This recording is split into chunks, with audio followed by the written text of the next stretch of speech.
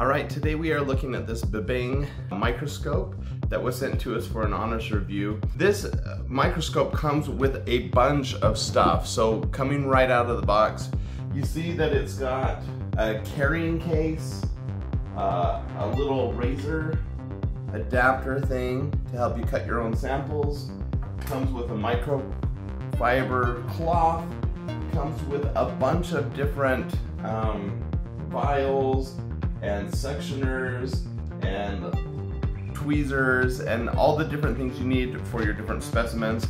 Probably most importantly, it comes with this sample of slices that you can use. It comes with 10 different ones and then a bunch of glass panes that you can create your own samples. So you can just throw those right into the microscope and start looking right away with them. So that's really nice. It has an adapter for your phone. Uh, if you have a headphone jack, mine does not. Um, but then you can take pictures directly from your phone.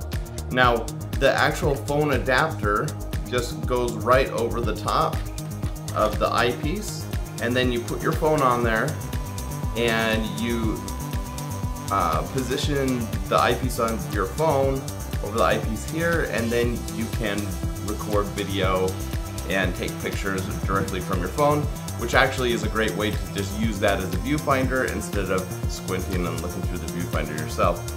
Um, now on the actual microscope, there's a bunch of things to notice. One is for adjusting, you've got a quick adjust and then a more fine adjust, which is really great um, when you're just finalizing uh, the shot that you want to get.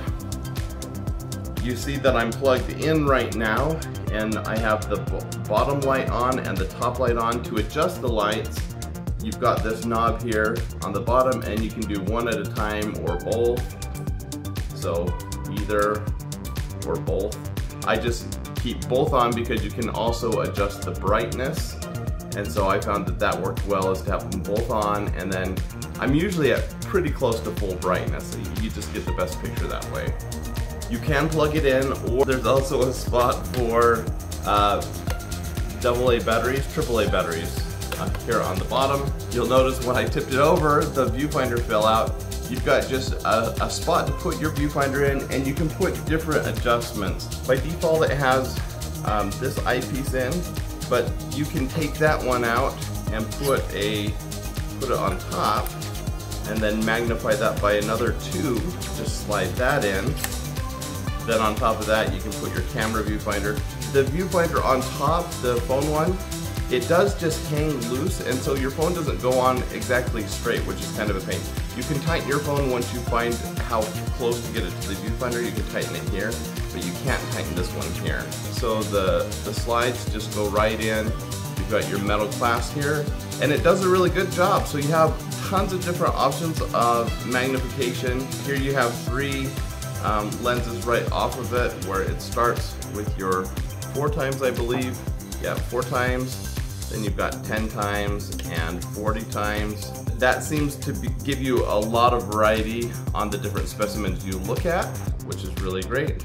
This is great for any science classroom or for home. I, I mean, this is something that your kids could play with. You could explore different specimens and have a lot of fun with it at home.